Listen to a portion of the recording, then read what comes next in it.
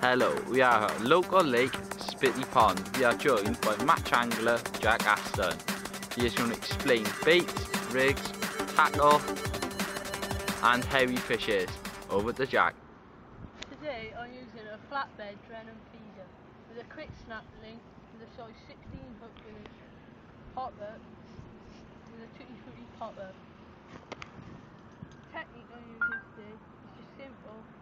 This flatbed over on the side of the island. I'm using a Garbolino rocket picker and a bullfighter as my reel. I've seen a couple of fish barrel up, on the side of the island. I caught a few this morning, but not much now. Starting to dry up. Let's get it then, Captain Cast.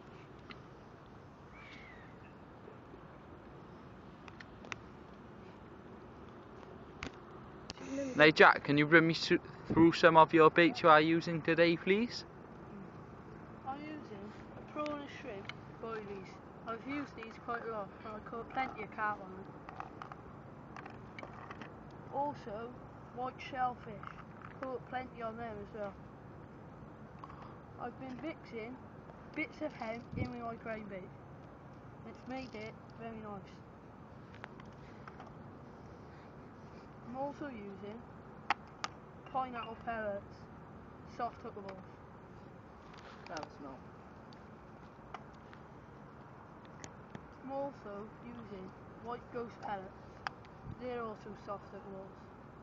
Thanks for It hasn't been a very good day today. I've caught a few. Now it's time to pack up. Thanks for watching. And our next episode of Fishing Frenzy is with Dan on the pellet wagon.